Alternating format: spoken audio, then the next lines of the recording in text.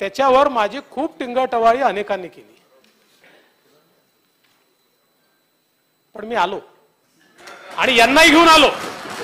मी पुन्हा येईन मी पुन्हा येईन असं देवेंद्र फडणवीस यांनी म्हटलं. आणि ही कविता त्यांच्या नावासोबत जोडली गेली.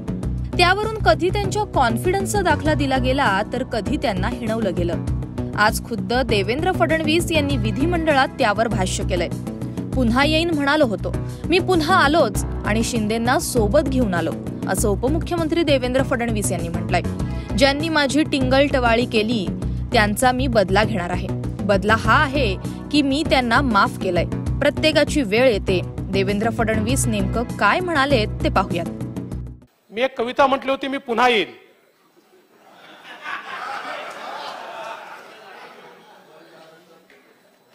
त्याच्यावर माझी खूप टिंगटवाळी अनेकांनी केली. पण मी आलो. आणि यांनाही घेऊन आलो. एकटा नाही आलो. यांना सोबत घेऊन आलो. आणि अध्यक्ष महोदय ज्यांनी टिंगल टवाळी केली ज्यांनी अपमान केला त्यांचा मी बदला घेणार आहे.